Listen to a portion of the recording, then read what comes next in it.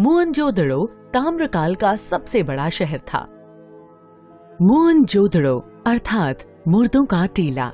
यह नगर मानव निर्मित छोटे छोटे टीलों पर बना था। इसकी नगर योजना अद्वितीय है। यह नगर दो भागों में विभाजित था। पश्चिम की ओर का भाग एक ऊँचे टीले पर निर्मित था, जिसे गढ़ या सिटाडेल के रूप में जाना जाता था। पूर्व में दूसरा भाग निम्न शहर के रूप में जाना जाता था, जो कि एक बड़े भाग में स्थित था।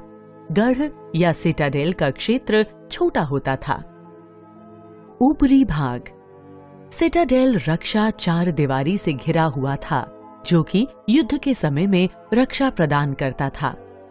चार दीवारी के भीतर महाकुंड, प्रशासनिक इमारतें, सभा भवन, ज्ञानशाला और कोठार हैं। इस भाग के एक सिरे पर प्राचीन और बड़ा बौद्ध स्तूप स्थित है, जो यहाँ का मुख्य केंद्र था। नगर के ऊपरी हिस्से में 40 फुट लंबा और 25 फुट चौड़ा एक महाकुंड भी है। इसकी दीवारें और तल पक्की ईंटों से बने हैं। यह एक विस्तृत, महान स्नानागार है। महान स्नानागार धार्मिक शुद्धिकरण के लिए मुख्य रूप से इस्तेमाल किया जाता था। इस सरोवर में दो तरफ़ से उतरने के लिए सीढ़ियाँ बनाई गई थीं और चारों ओर कमरे बने हुए थे। कुंड में बाहर के अशुद्ध पानी को न आने देने का ध्यान रखा गया। कुंड में पानी की व्यवस्था के लिए एक कुआँ है। सभागार एक और महत्वपूर्ण इमारत थी। इसमें सभा करने के लिए कमरे बने हुए थे, जहाँ पुजारी लोग रहते थे, प्रार्थना करते थे और लोगों से मिलते थे।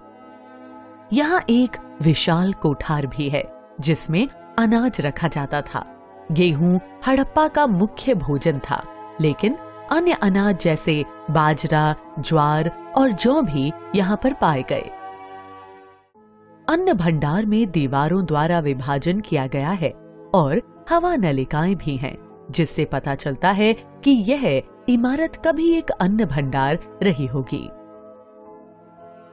निम्न शहर निचला शहर एक आवासित क्षेत्र था, जहाँ सामान्य लोग निवास करते थे यहाँ दो प्रकार के मकान पाए जाते हैं पूरब की ओर बड़े दो मंजिला मकान, जिनके पास निजी कुएँ होते थे, और दूसरी ओर एक मंजिला छोटे मकान यहाँ सड़कें और गलियाँ जाल पद्धति पर निर्मित थीं, तथा एक दूसरे के समानांतर चलती थीं और समकोण पर मिलती थीं। सड़कों पर पक्की ईंटें बिछाई गई थीं। सड़कों को इस तरह बनाया गया कि इसमें गहरे मोड़ न हो, जिससे कि मालगाड़ियों की आसान आवाजाही हो सके यहाँ घर पकी हुई ईंटों से बने होते थे और गलियों में जाकर खुलते थे उनमें खुले प्रांगण होते थे और ऊपरी मंजिल पर पहुँचने के लिए सीढ़ियाँ होती थीं।